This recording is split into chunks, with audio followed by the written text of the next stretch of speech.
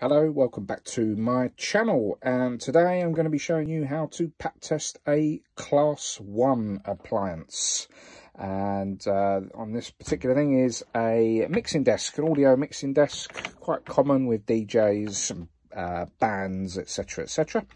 Um, so we're going to show you how to do that. So first of all you need to do a full visual inspection of the appliance, check. There's no damage to the casing either on the top or on the bottom underneath. Check there's no damage to the socket either.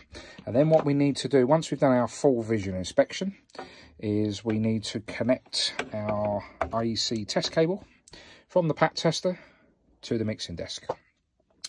And then what we're going to do is we're going to connect our test probe to a piece of metal um, on the appliance somewhere so we test like that okay and then what we're going to do is we're going to start the test sequence.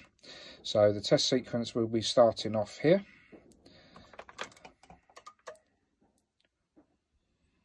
And that shows a reading of 0.04, which is a pass.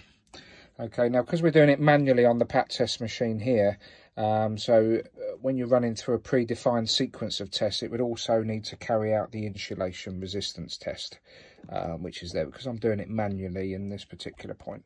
So we'll keep the test probe still connected. It's not essential on a class one test, um, but seeing as it's um, still attached anyway, there's, there's no harm in uh, leaving it attached and then we'll run the test again